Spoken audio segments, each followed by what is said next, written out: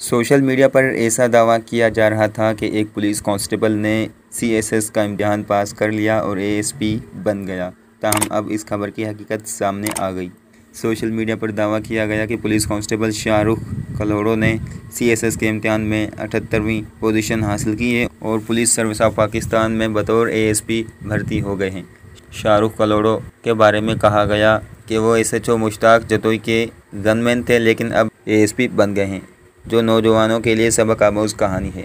ये कहानी social media पर वायरल हुई तो सी एस एस इम्तहान पास करने वाला असली शाहरुख मंजरियाम पर आ गया। शाहरुख खान ने कहा कि वो कलोड़ो नहीं, बल्कि शेख हैं और पुलिस सर्विस ऑफ़ पाकिस्तान में तैनात हुए हैं। उनके वालिद रिटायर्ड कर्नल हैं और उन्होंने 2018 में लिम्स यूनिवर्सिटी लाहौर से ग्रेजुएशन की है।